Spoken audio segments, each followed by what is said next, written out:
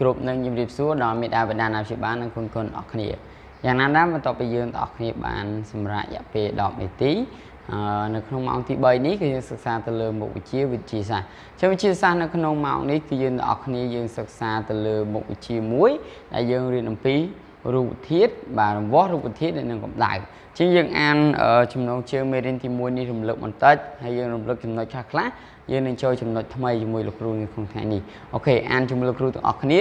វិទ្យាសាស្ត្រមេរៀនទី1រង្វាស់រូបធាតុនិងកម្ដៅទំព័រ72បាទអញ្ចឹងអ្វីទៅជារង្វាស់អ្វីទៅជារូបធាតុហើយអ្វីទៅជាកម្ដៅគឺយើងបានរៀនហើយហើយអញ្ចឹងយើងមើលរង្វាស់រង្វាស់គឺជាការវាស់អញ្ចឹងដូចជាម៉ែនេះគេគេប្រើសម្រាប់វាស់ទុំ អឺវាស់ប្រវែងណាបាទអញ្ចឹងមានថាម៉ែត្រនេះគឺគេប្រើសម្រាប់វាស់អីវាស់ប្រវែងចោះជញ្ជីងគេប្រើសម្រាប់ធ្វើអ្វីបាទសម្រាប់ថ្លឹងដែរមានថារង្វាស់ទម្ងន់ដើម្បី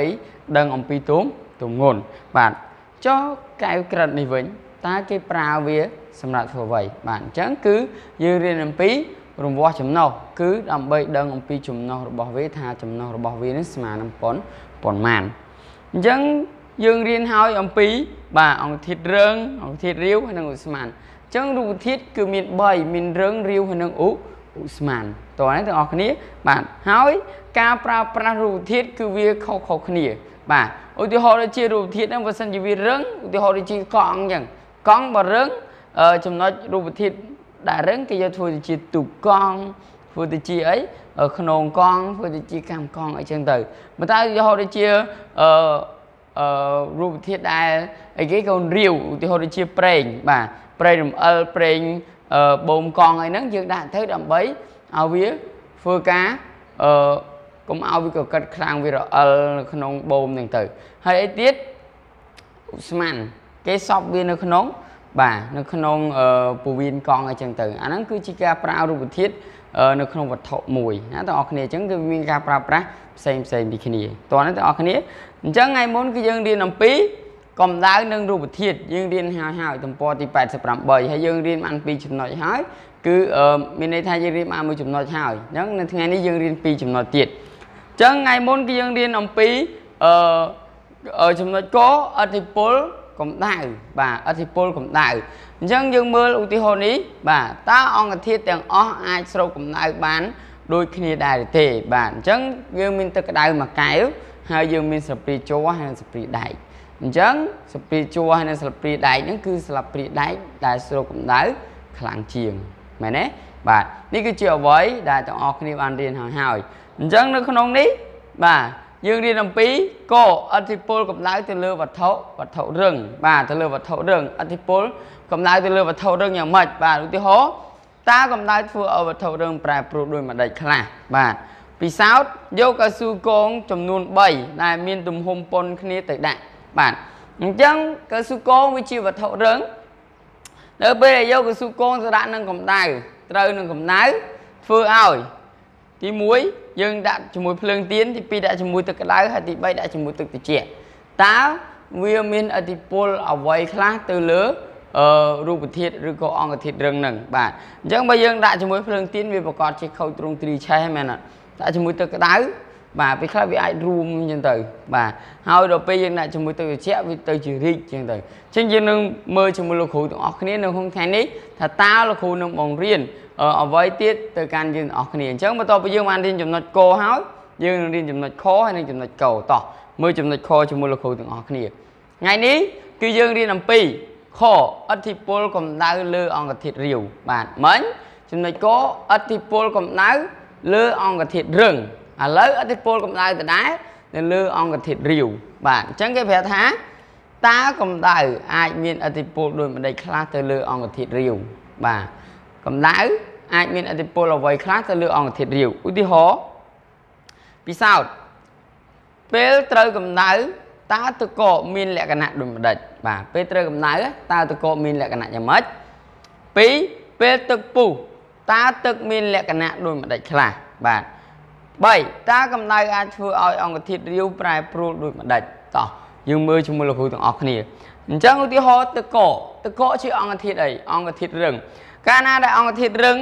ជាទឹកកកនេះដាក់ហាលក្ដៅអញ្ចឹងសួរថាតើទឹកកកផ្លាស់ប្ដូរលក្ខណៈដូចម្ដេចបាទអញ្ចឹងកូនចាំណា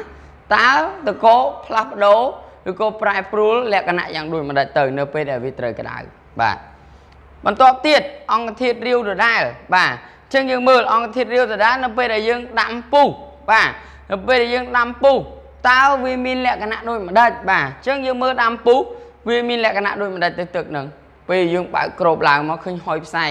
មកហុយផ្សែងហ្នឹងវាចំហាយទៅចេញទៅជាដូចជាឧស្ម័នអញ្ចឹងមានន័យថាចំហាយទឹកបាទហើយមួយទៀត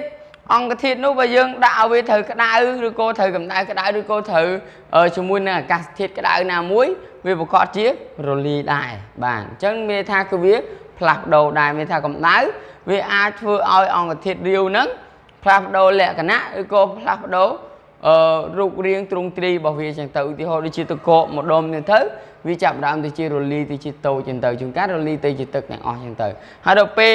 អង្គធាតុរាវដដែល ទឹកដដែលយកទៅដាក់ក្នុងឆ្នាំងហើយដល់ពេលដែលយើងដាំវាធ្វើឲ្យទឹកនឹងរីងទៅរីងទៅរីងទៅរីងទៅរហូតមកអត់ហើយទឹកហ្នឹងវាទៅជាចំហាយទឹកចឹងទៅនេះគឺជាអឺអឺកម្ដៅដែលមានអតិពលទៅលើអង្គធាតុរាវតោះនេះកូនចឹងយើងមើលសន្និដ្ឋានសន្និដ្ឋានតាមរយៈការពិសោធន៍ខាងលើយើងសន្និដ្ឋានបានថាបំរែបំរួលកម្ដៅអាចធ្វើឲ្យអង្គធាតុរឹងមានការប្រែប្រួលភាព រូបពីរឹងទៅរាវនិងពីរាវទៅឧស្ម័នបាទមានន័យថាផ្លាស់ប្ដូរពីរឹងអង្គធាតុរឹងឲ្យទៅជារាវហើយពីរាវនឹងទៅជាឧស្ម័ននៅពេលដែលយើងដាំផុតតោះឥឡូវយើងមើលទៅលើចំណុចកោជាមួយលោកគ្រូអញ្ចឹងយើងមើលជាមួយលោកគ្រូទាំងអស់គ្នាចំណុចកោតោះកោអធិពលកម្ដៅលើឧស្ម័នបាទអញ្ចឹងយើងរៀន3ហើយកោអធិពលកម្ដៅទៅលើអង្គធាតុរឹង ចំណុចខអធិពលកម្ដៅលើអង្គធាតុរាវចំណុចកោអធិពលកម្ដៅលើឧស្ម័នតើវាមានលក្ខណៈខុសគ្នាយ៉ាងម៉េចតោះយើងមើលជាមួយគ្នា សំណួរកុមារីបានសួរថាតើឧស្ម័នមាននៅកន្លែងណាខ្លះអញ្ចឹងបរមអ្នកគិលប្រថាចូលសង្កេតមើលការពិសោធន៍នេះតើមានអ្វីកើតកើតឡើងគេឲ្យយើងសង្កេតជាមួយការពិសោធន៍អញ្ចឹងយើងមានដបទទេហើយយើងមាន បាទក្លាំទឹកមានន័យថាចានទឹកឬក៏កធុនទឹកបាទអឺក្លាំទឹកហ្នឹងមានន័យថា កធុនឬក៏ចានដាក់ទឹកហ្នឹងហើយអញ្ចឹងនៅពេលដែលដាក់ទឹកហើយយើងយកកៅទទេហ្នឹងដាក់ចូលទៅក្នុងទឹកស្រាប់តែវាចាញ់ហើយពពុះពពុះទឹកអញ្ចឹងមានន័យថានោះហើយគឺជាឧស្ម័នដែលមាននៅក្នុងនោះអញ្ចឹងឧស្ម័នមាននៅកន្លែងណាខ្លះគឺមាននៅគ្រប់ទីកន្លែងយើងដូរដង្ហើមបានដោយសារតែឧស្ម័នអុកស៊ីអុកស៊ីសែនមែនអត់បាទនេះគឺជាឧស្ម័នអញ្ចឹងបើយើងអត់មានឧស្ម័នអុកស៊ីសែនទេយើង ប្រកាសជាអត់អាចរស់បានទេអញ្ចឹងឧស្ម័នគឺមាននៅគ្រប់ទីកន្កន្លែងបាទអញ្ចឹងយើងមើលដូចជាដបទឹកទទេនេះចឹងយើងមើលនៅភ្នែកយើងអត់ដឹងថាមានឧស្ម័នអត់ទេប៉ុន្តែនៅពេលយើងយកដបទទេហ្នឹងហើយយើងមកដាក់ចូលជាមួយនឹងអឺ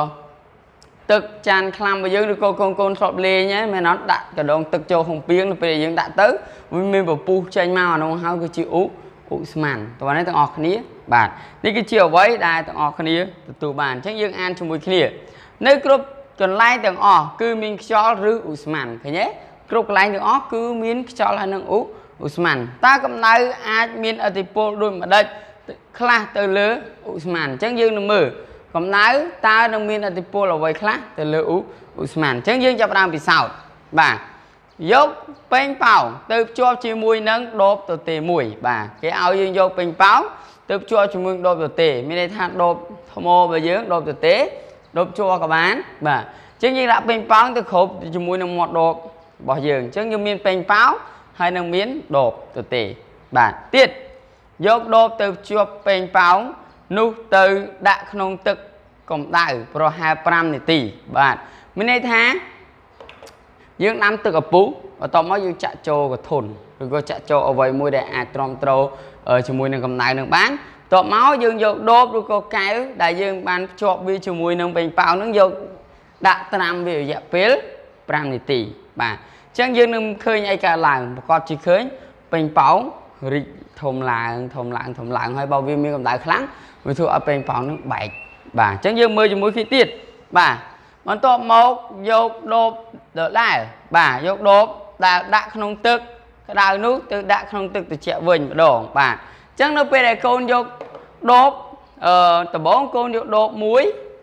កូនយកដបមួយកូនដាក់ពេញប៉ោងនៅលើនឹងហើយកកូនយកវាយកទៅដាក់ពីលើទឹកដែលក្តៅនឹងអញ្ចឹងដាក់វា5នាទីទៅពេញប៉ោងចាប់ដើមរីកឡើងធំមែនអត់បាទដល់ពេលកូនដកចេញកូនកូនយកវាទៅដាក់នៅកន្លែងទឹកត្រជាក់ម្ដងឬក៏ទឹកកកក៏បានដែរស្រាប់តែពេញប៉ោងនឹងរួមទៅរួមទៅរួមទៅវិញឃើញទេបាទអញ្ចឹងមានន័យថាម៉េចកម្ដៅ តើវាអាចមានឥទ្ធិពលលើឧស្ម័នដែរឬទេ គឺមាន គឺពេញប៉ោងបានរីករីកធំនោះហើយគឺជាឧស្ម័នណាបាទនេះគឺជាអ្វីដែលលោកគ្រូចង់ឲ្យទាំងអស់គ្នាយល់អញ្ចឹងយើងអាចសន្និដ្ឋានបានថាម៉េចសន្និដ្ឋានតាមរយៈការវិស័យខាងលើយើងសន្និដ្ឋានបានថាបំរែបំរួលកម្ដៅអាចធ្វើឲ្យឧស្ម័នរីកឬរួមមៀតបានឃើញទេកម្ដៅអាចធ្វើឲ្យឧស្ម័នរីកឬក៏រួមមៀតបានឧទាហរណ៍ដូចជាឧស្ម័នរបស់យើងនៅក្នុងកង់របស់យើង សបកកង់ពវៀនកង់របស់យើងមានឧស្ម័នមានខ្យល់ក្នុងនឹងចឹងពេលយើងទុកត្រូវក្តៅខ្លាំងវាធ្វើម៉េចផ្ទុះកង់ឡានផ្ទុះកង់ម៉ូតូផ្ទុះកង់រមាក់កង់រទេះផ្ទុះដោយសារអីកម្ដៅបាទឧស្ម័ននៅក្នុងនោះវាអាចធ្វើឲ្យផ្ទុះឬក៏ផ្លាស់ប្ដូរទ្រង់ទ្រីរូបរាងរបស់វាបានដែរនេះគឺជាអ្វីដែលលោកគ្រូចង់ឲ្យទាំងអស់គ្នាយល់អញ្ចឹងយើងអាននិយមន័យបន្តិច ជាទូទៅបំរែបំរួលកម្ដៅអាចធ្វើឲ្យអង្គធាតុរឹងរាវនិងឧស្ម័នប្រែប្រួលដោយរីកឬរមៀតឃើញទេរឹង